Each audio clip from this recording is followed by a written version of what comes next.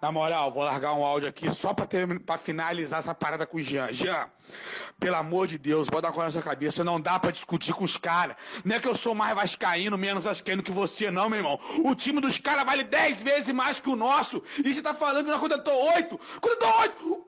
Me fala um que presta, porra! Felipe Bastos, uma merda, nem, nem esporte quer. Quem esses caras que nós contratou? Ninguém quer, porra! Nós só pega nem o que não quer, pô. Bruno César, 102 quilos, pô, pesadão. Se fosse bom, acha que nego ia liberar ele pra nós? Sem pagar nada? Ah! Senão nós, senão nego queria ir pro outro time, pô. Acorda! Meu irmão, não adianta discutir com a Menguista no momento. Nós estamos na merda. Ah, os caras não ganharam nada, ok. Nós também não ganhou. Os caras ficaram segundo brasileiro, na qual caiu. Porra, Jean! Você tá maluco? Vai discutir pra quê? Pra ser zoado? Cala a boca, fica quieto, cara!